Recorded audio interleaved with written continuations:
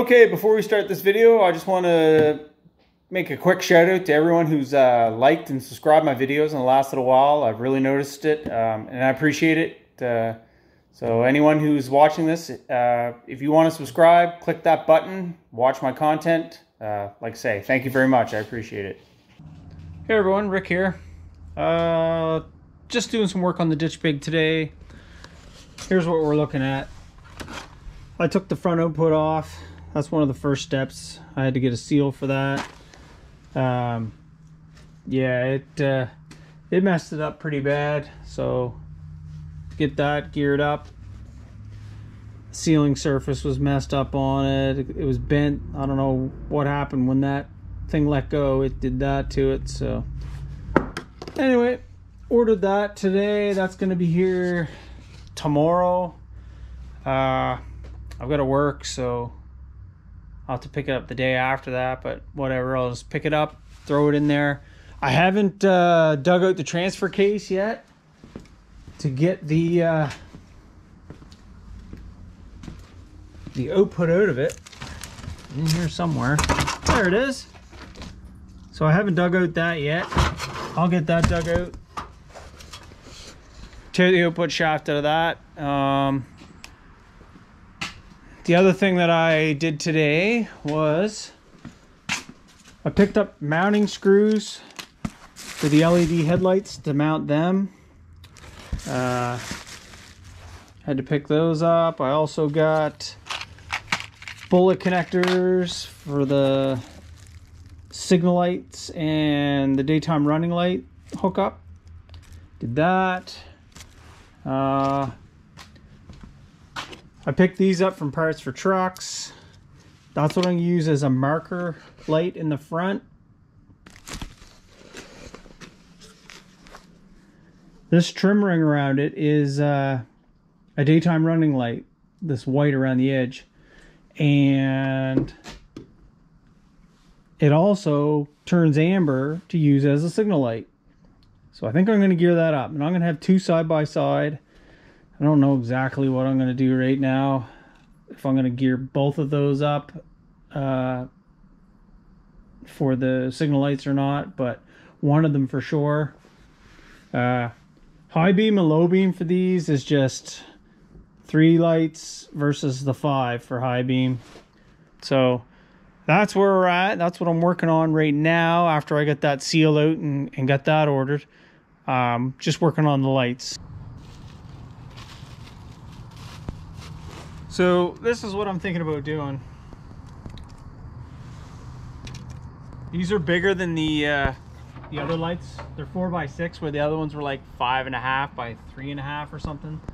Um, so I won't be able to use a bezel, which I haven't had bezels anyways because they broke. So, so I'm just gonna mount them like that, and I'm not gonna worry about a bucket or anything. There's four holes in the back. I'm gonna screw them right into this. Uh, normally this is your low beam and this is your high beam. I think from now on, this is gonna be the low beam. And the reason being is, when I shove that in there and screw it solid, it tips down. So that would be perfect for a low beam. This will be flush, sitting level, so it's gonna shoot straight out. That'll be good for a high beam.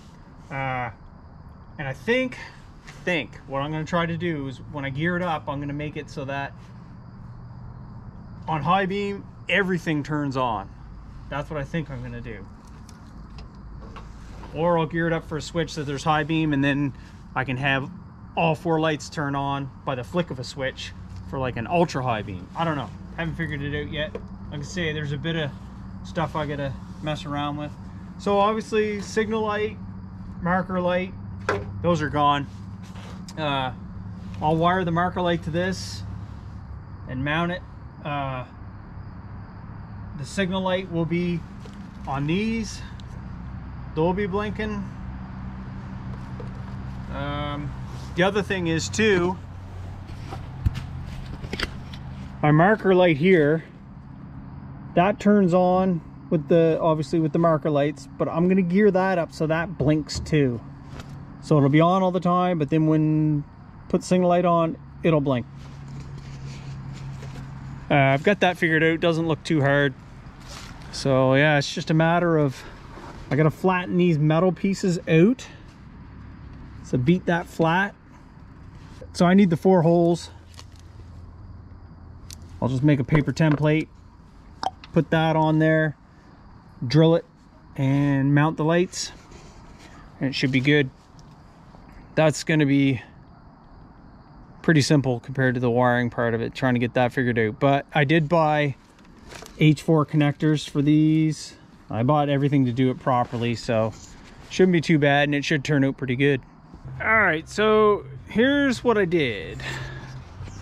I made this cardboard template that matches the back of the light, a little notch there for the harness.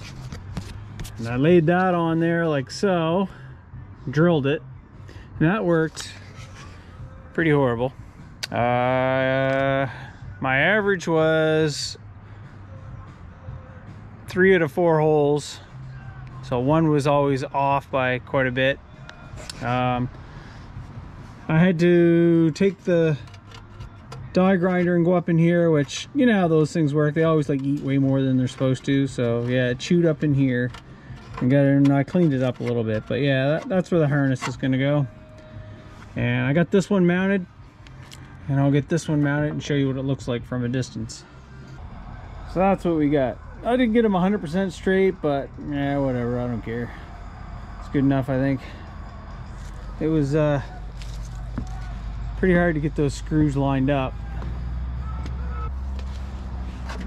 I mean, worst case scenario, I could oval those and try and tweak them up a bit, but yeah. I'll be surprised if they stay in there. They'll get beat out of there again like the other ones. And then like I say, I'm gonna mount my marker light somewhere's in this area.